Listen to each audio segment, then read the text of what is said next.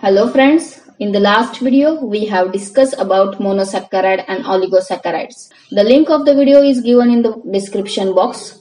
Today we are going to discuss about polysaccharides. If you like the video, then please share it and subscribe my channel. Polysaccharides or glycans contains more than 20 sugar units. They may be homopolysaccharide or heteropolysaccharides. Homopolysaccharides contain only one type of monomer while heteropolysaccharides consist of two or more different monomers. The polysaccharides may be classified into storage and structural types on the basis of function.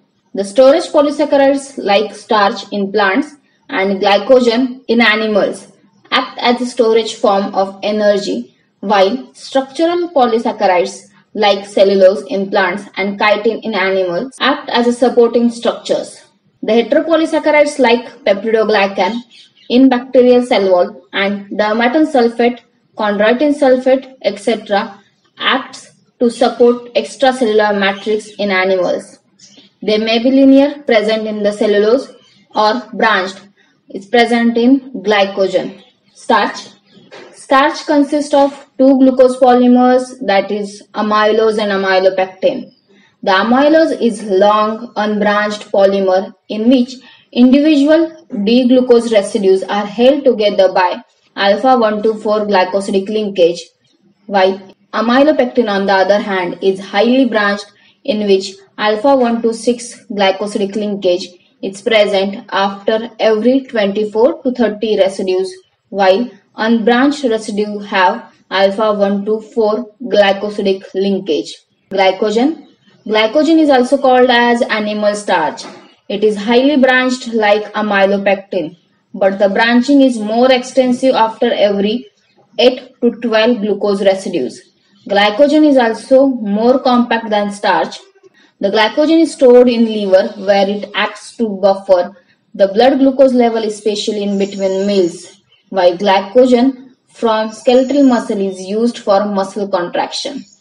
Glycogen has a single reducing end and multiple non-reducing ends at the end of branches. The glycogenolysis, that is breakdown of glycogen, simultaneously occurs from non-reducing ends of glycogen. Cells store energy in the form of glycogen instead of free glucose because Glycogen is insoluble in water, therefore it can be stored in anhydrous form, while glucose being water-soluble is associated with water leading to endosmosis and cell rupture. Also free energy change required for transport of glucose from extracellular fluid to intracellular fluid would be very large. Dextrans. These are the polysaccharides present in yeast and bacteria. They consist of glucose residue joined through alpha-1,2,6 glycosidic linkage, while branch points have alpha-1,2,3 glycosidic linkages.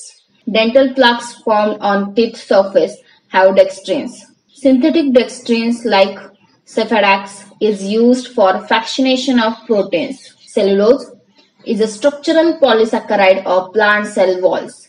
They are linear unbranched polymers in which glucose residue are held by beta-1,2,4 glycosidic linkage. Most animals lack enzyme that can break beta-1,2,4 glycosidic linkage and thus cannot digest cellulose. Termites, on the other hand, are capable of digesting cellulose due to presence of symbiotic trichonympha.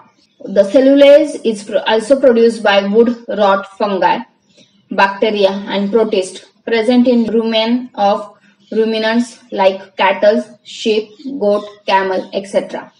Chitin Chitin is a linear homopolysaccharide in which N-acetyl glucosamine residues are held together by beta-1,2,4 glycosidic linkage.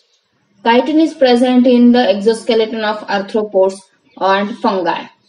Chitin cannot be digested by vertebrates. Bacterial peptidoglycan Bacterial cell wall contains heteropolysaccharide in which alternating units like N-acetyl-glucosamine and N-acetyl-muramic acid are joined through beta-1,2,4 glycosidic linkage. Lysozyme present in bodily secretions and produced by some bacteriophages are capable of breaking the beta-1,2,4 glycosidic linkage.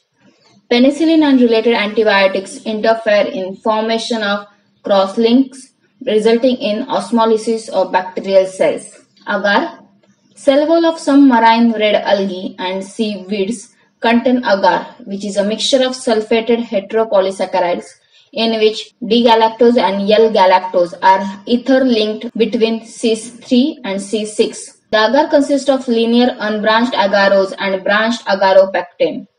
Agarose has an excellent gel-forming ability which is exploited in electrophoresis of nucleic acid as well as culturing of bacteria. Certain drugs and vitamins are also coated with agar capsules which gets dissolved easily in stomach and metabolically inert. Glycosaminoglycans are the heteropolysaccharides present in the gel-like extracellular matrix or ground substances of the multicellular animals that supports the cells and also facilitate diffusion. Glycosaminoglycans consist of repeating disaccharide units. Among that, one monosaccharide is always either N-acetylglucosamine or N-acetylgalactosamine and other may be uronic acid. Carboxyl group and sulfate group of uronic acid gives high density negative charge to glycosaminoglycans. Some example of glycosaminoglycans. First, hyaluronic acid. Hyaluronic acid consists of about 50,000 repeating units of D-glucuronic acid and N-acetylglucosamine. These both monosaccharides are held together by beta-123 and beta-124 linkage. Hyaluronate act as a lubricant at joints gives jelly-like consistency to vitreous humors of eye and is an essential component of cartilage and tendons. Hyaluronidase is an enzyme secreted by some pathogenic bacteria and sperms during fertilization. Chondroitin sulfate consists of about 20 to 60 repeating units of D-glucuronic acid and N-acetylgalactosamine. These monosaccharides held together by beta-123 and beta-124 linkage. Chondroitin sulfate provides tensile strength of cartilage, tendon, ligament, and wall of aorta. Third, keratin sulfate. Keratin sulfate consists of about 25 repeating units of D-galactose and N-acetylglucosamine.